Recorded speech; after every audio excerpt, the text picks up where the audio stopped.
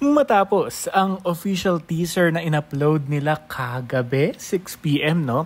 Marami naman ang mas kinilig dito sa first ever TikTok video ni Catherine Bernardo and Alden Richards na Maybe This Time Dance Challenge.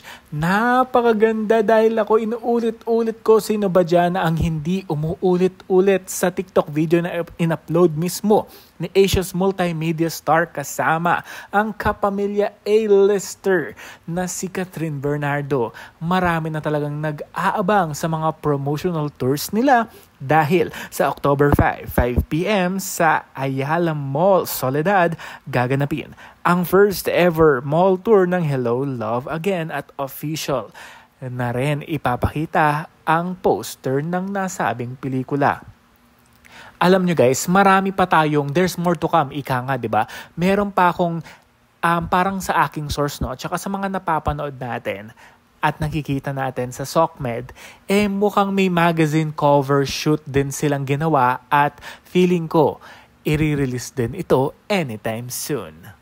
Feeling ko rin may official team song din ito bukod sa Kung Di Rin Lang Ikaw. Eh alam kong meron pa, alam kong meron pa may mga nagsasabi nga na yung kanta ni TJ Monterde, yung palagi, marami, marami tayong kailangan at dapat abangan sa mga gagawin pang mga eksena ng Kath din na alam naman natin. Eh maraming kinikilig, isa na ako ron, at maraming mga sumusuporta.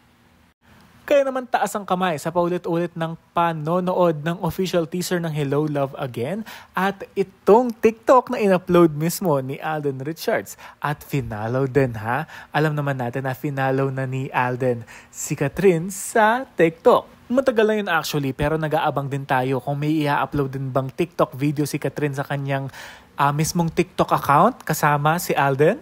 Uy, alamin na lang natin ito.